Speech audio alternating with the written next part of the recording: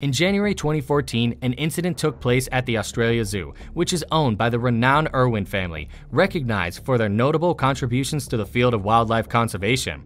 During a standard feeding demonstration, a handler experienced an incident where they sustained a bite on the hand from a crocodile named Graham. While the injuries sustained were not deemed life threatening, this incident has brought attention to the inherent hazards associated with working in close proximity to dangerous animals. It serves as a reminder of the utmost significance of comprehensive training and adherence to safety protocols for zoo personnel.